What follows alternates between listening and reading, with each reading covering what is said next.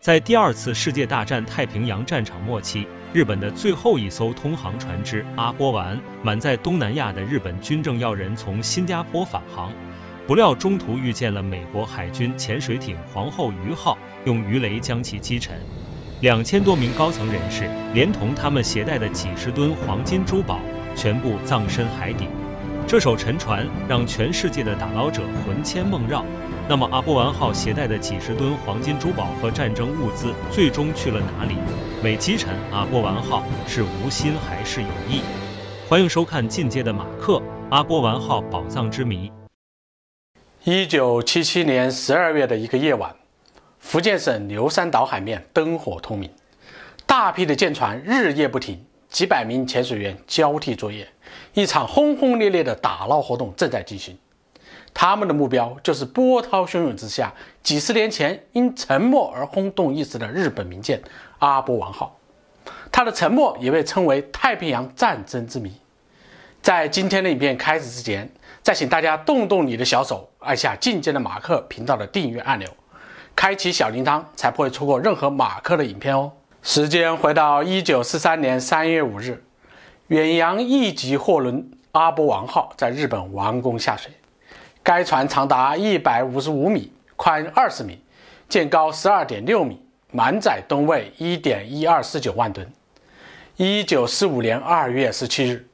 阿波丸从日本门司港起航。虽然是战时，但船上的高射炮与普通舰炮已经被卸下，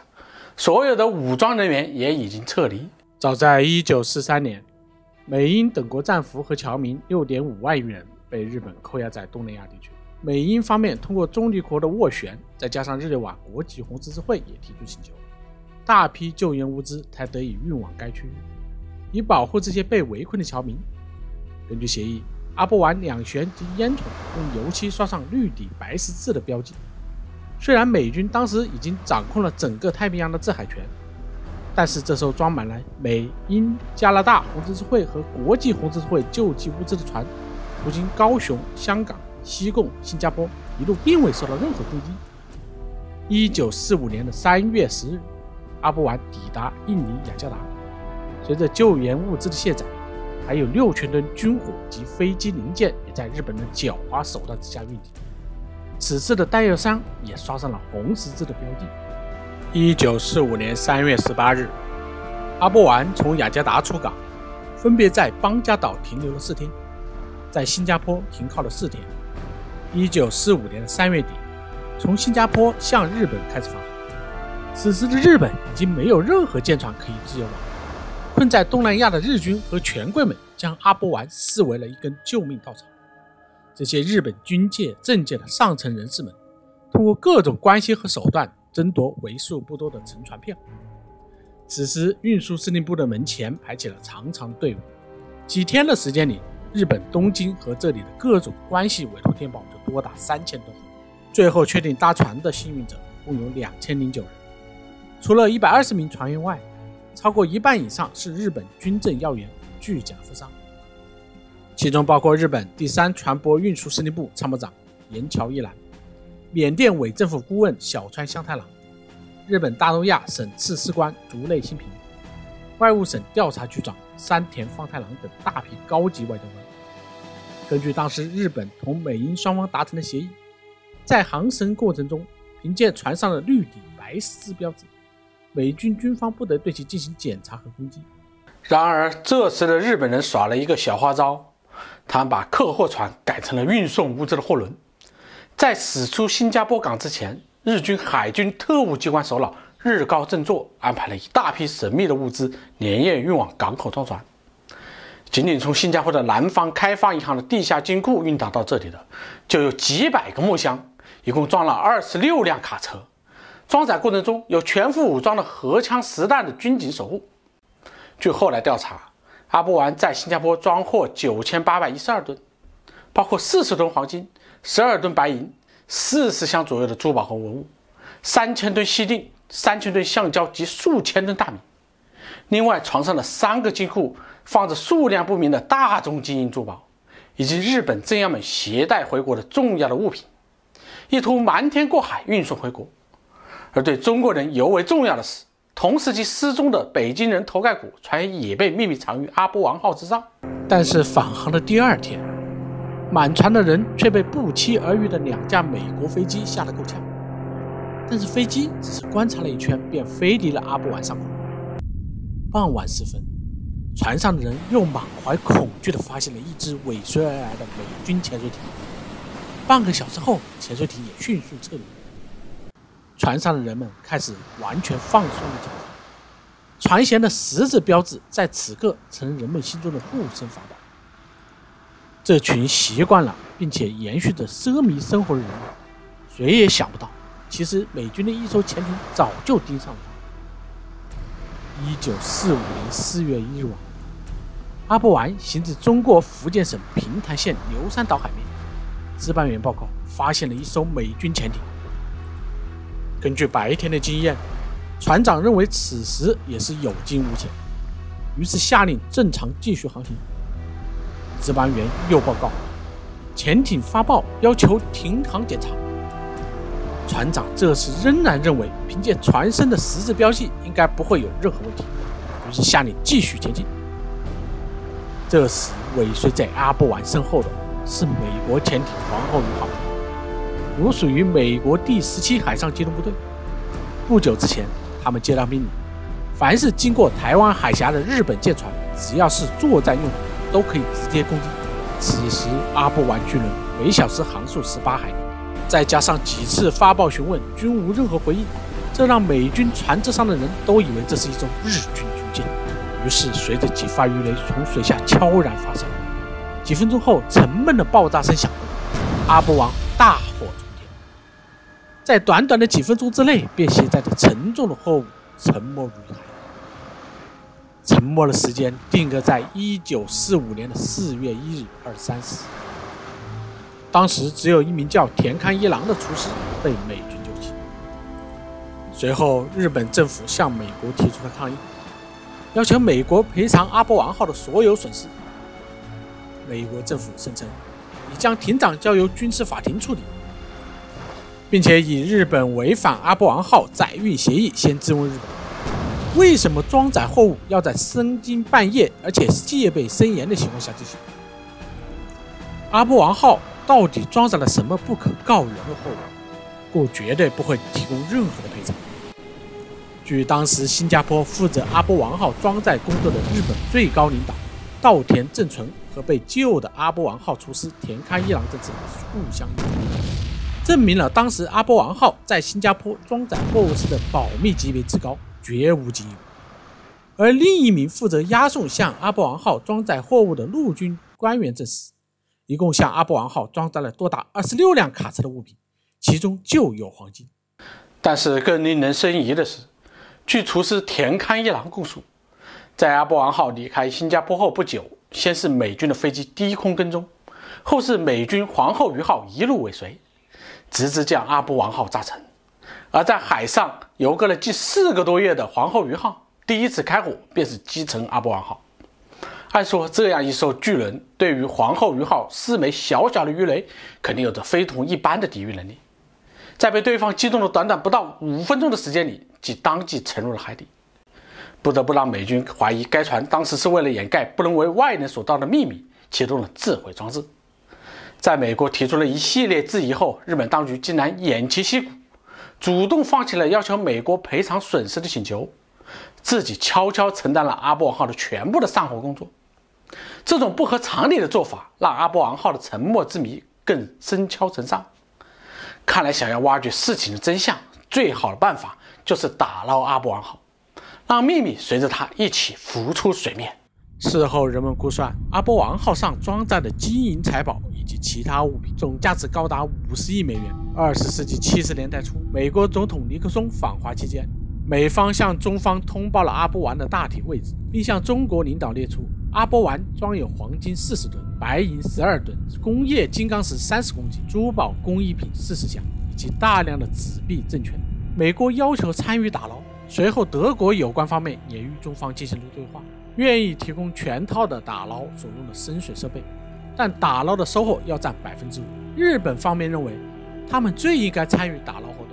因为阿波丸是日本货船，两千多名日本人的遗体在船上。他们提供的资料显示，阿波丸上的货品包括橡胶、大米以及三个金库的贵重物品，另外还有黄金、外币等。各国民间人士此时也都跃跃欲试，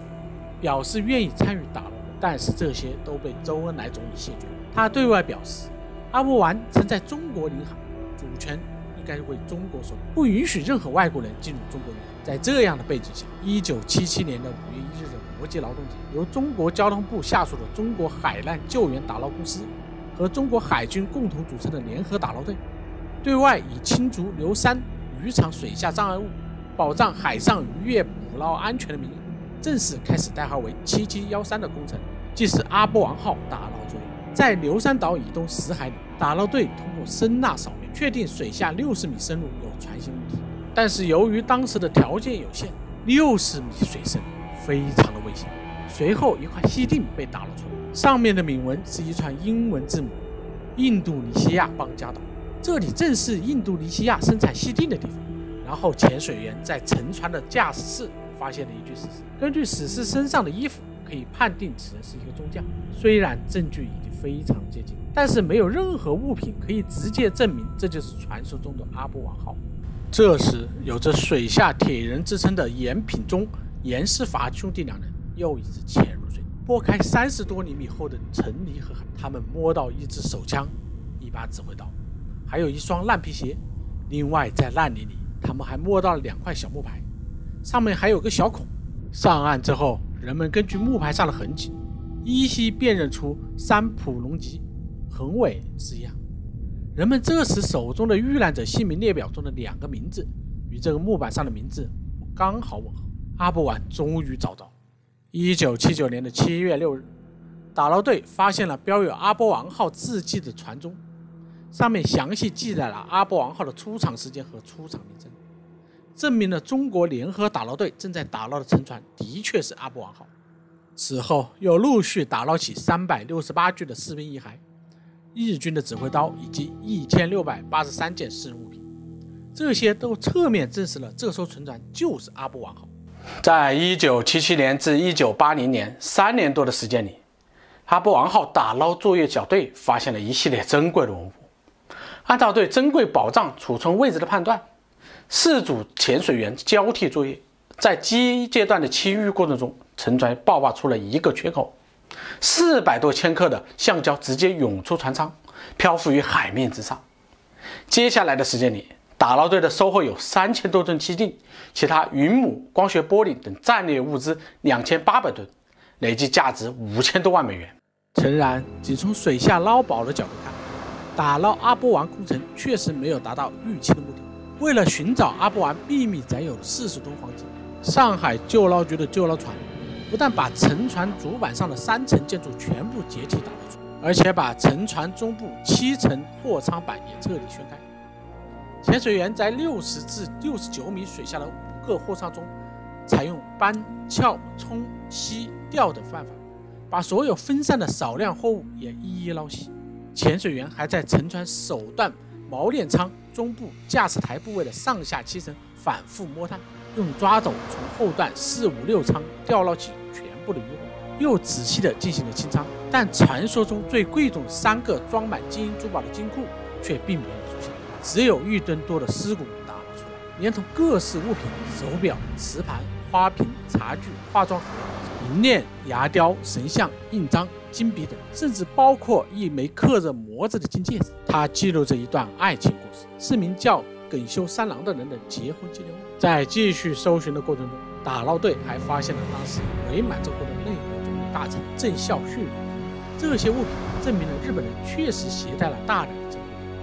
如果说发现目标是个困难的过程，那么打捞则是一个艰险的历程。一九八零年七月六日，在逝世三十五年后，标记着英文缩写 AAAR 的阿波王船头终于浮出水，但疑惑也随之而来。对照当年的存货记录。在三年多的打捞作业中，并没有发现财宝的出发处，也没有找到一两黄金。一九八七年的三月，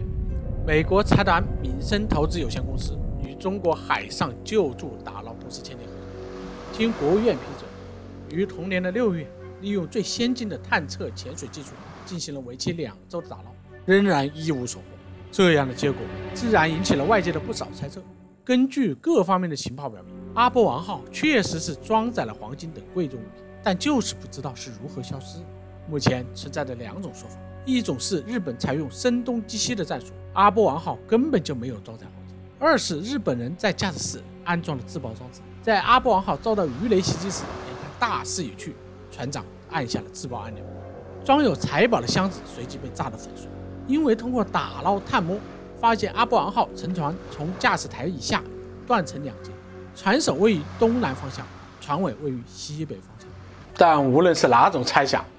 事实是阿波王号上的沉船真相至今无法彻底大白，总价值和礼单的数目相距巨大。